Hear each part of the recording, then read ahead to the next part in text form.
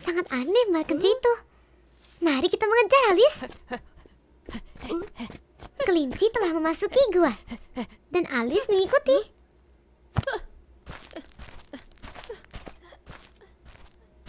Gua ini sangat kecil.